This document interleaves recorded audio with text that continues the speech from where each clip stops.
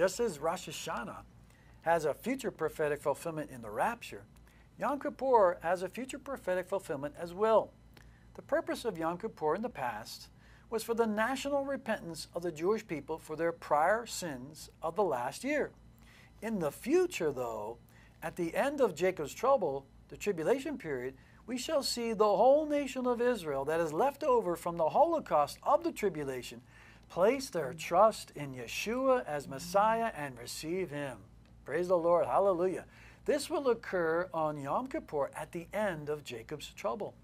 Let's take a look at Zechariah's prophecy concerning this future Yom Kippur toward the end of the tribulation period. Zechariah chapter 12, verse 10. It's a powerful scripture here. God is speaking and he says, And I will pour out on the house of David and on the inhabitants of Jerusalem the spirit of grace and of supplication, so that they will look on me whom they have pierced, and they will mourn for him as one mourns for an only son, and they will weep bitterly over him like the bitter weeping over a firstborn. Here we see the Jewish people receiving the Ruach Kodesh, the Holy Spirit. Now, the only way to receive the Spirit in this age is by believing on Yeshua. Mm-hmm. The Jewish people of Jerusalem received the Spirit so that they could look on me, whom they pierced. The Lord God is the one who is speaking in this verse, so He is the me of this verse.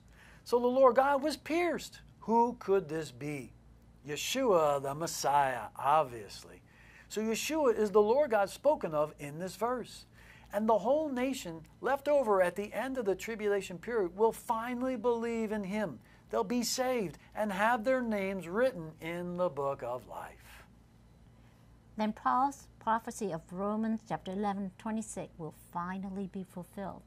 And thus, all Israel will be saved. Praise the Lord. Praise the Lord is yeah. right.